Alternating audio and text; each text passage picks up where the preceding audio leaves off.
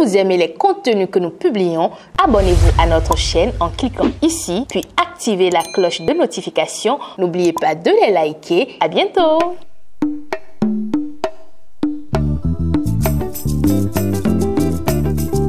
Janvier Denangan Renfort, le percussionniste béninois décédé lundi 22 novembre 2021 des suites d'une maladie dans sa 54e année, est inhumé ce mercredi 1er décembre 2021. Étant de nationalité béninoise et converti en allemande, il a été enterré dans son pays d'accueil où il vit depuis 1999.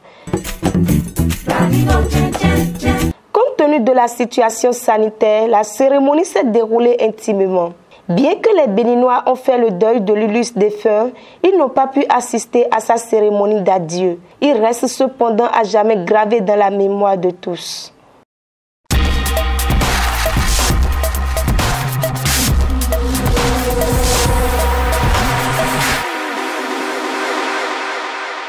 Vous voulez faire de votre talent un métier?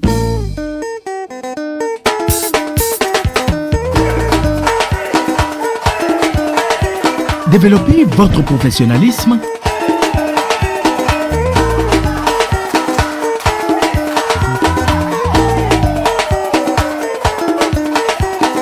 Venez à Vidéo Leader.